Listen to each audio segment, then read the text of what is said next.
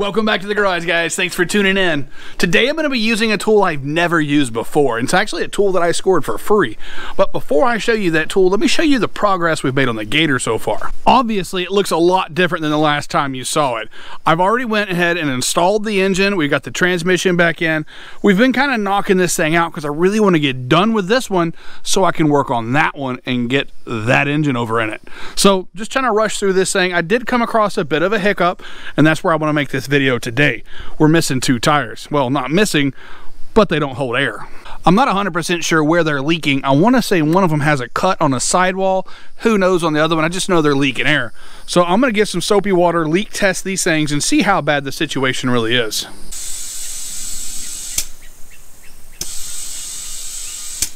You guys may be wondering why I'm going through all this effort with these old tires. Well, turns out these tires got pretty good tread left, and I found out they're expensive. They're about 150 a piece, so I have no interest in buying these things if I don't have to. There it is. I've got a hole in the sidewall on this one. So I'm going to fix this one, but I'm going to come back around to it and check this other one real quick and see how bad it is.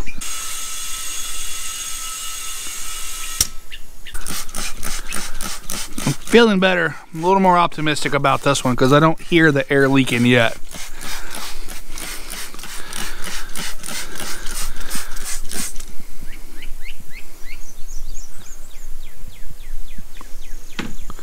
I still hear it leaking out of that thing though. Jeez.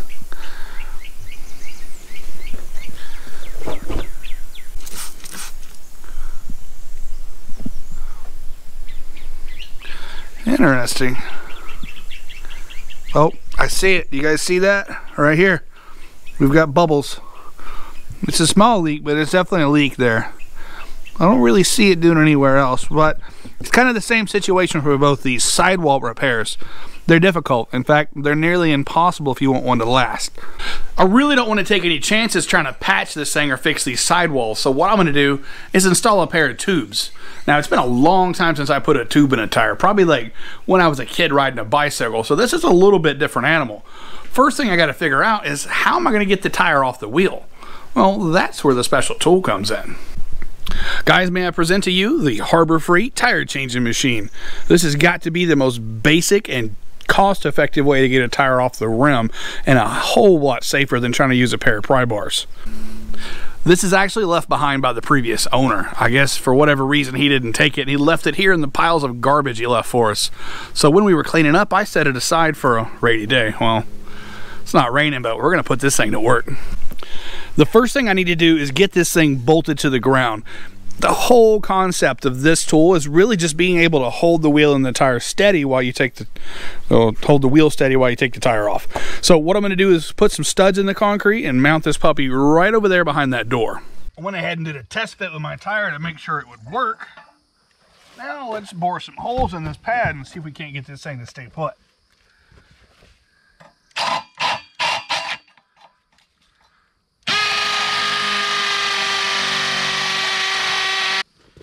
guess I should have made sure these anchors fit this thing before I got too serious with it. Oh yeah, it'll work. These things are the greatest.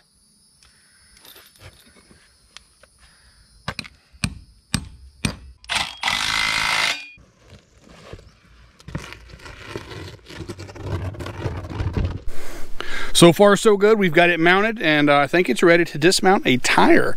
Now if it seems like I'm struggling with all this, it has been a little while since I have uh, changed a tire. The last time I changed a tire, it was with a Hunter machine that was probably, I'd say it was probably over $50,000 machine. It was all push button. You didn't actually have to touch the tire. Completely computer controlled. So this is kind of the, uh, the opposite. All right, so the first step is I got to get the air out of the tire. Next step is we have to position the tire kind of like on that little guy there. All right, so we got the tire on there. Um, this is the part that's kind of like the shovel that breaks it down. I believe we need to position this kind of uh, like right there. Yeah, yeah. And that's gonna be what we use to break this bead with. We're gonna we're doing this with one hand, so we're gonna have to put the foot to work. look at that. That was impressive. These things are older too, so I figured they'd be kind of stuck. Flip it over. Kind of do the same thing. Break this other bead.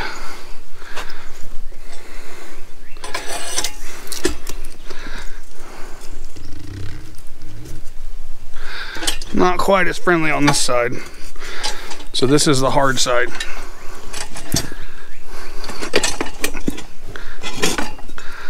We'll get it though. There it is. All right, so that bead is broke.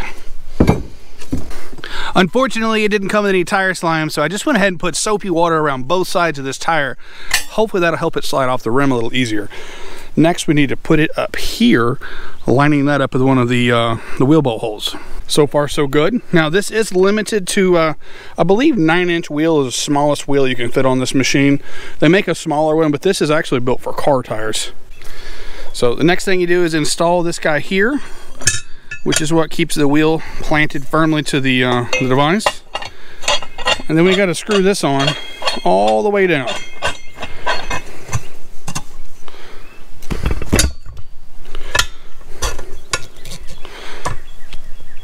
Almost. We're gonna give it a little more, uh, a little more oomph with this bar right here. The technique illustrated in the instructions has you do this and then this.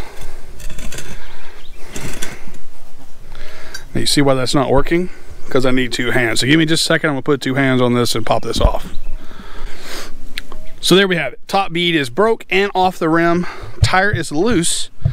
And we could probably go ahead and throw a tube in here now, but that's too easy. I want to go ahead and take this thing all the way off. And there you have it. Bare wheel, naked tire. That was actually 10 times easier than I figured it would be. I really want to go ahead and pull this down so I can see what the inside of this wheel looks like. I mean, is that not just massive? For a Gator, how wide these back tires are. You don't realize it till you see it broke down like this. So I really wanted to take a minute to check these beads, make sure there's no rust or anything else in there that could pop a tube. And I want to cleanly cut this thing off and grind those edges smooth where that valve stem goes.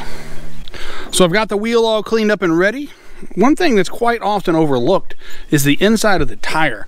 You really want to check this thing and make sure there's nothing in here that might cause, you know, premature penetration looks pretty good. So I'm gonna go ahead and get this mounted up and we're gonna stuff this tube in there. All right, so just a little bit of air in here so this thing starts taking its shape.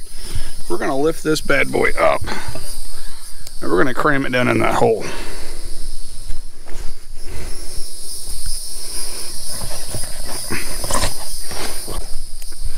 Next, I need to catch that valve stem on that hole and tighten down that stem so the tire and tube can't twist independently. So now that we've got the valve stem secured, the really only thing you got to be worried about is not stabbing the tool in there, pinching your tube and causing a hole. I mean, it's possible, trust me. If it can be done, I've done it. So there you have it, installed. Actually, way easier than I thought it was gonna be. It was harder to mount it than it was to actually do the tire job. So I'm gonna go ahead and do this one more time real quick on time lapse, and then we're gonna take this Gator for a ride and see how she does.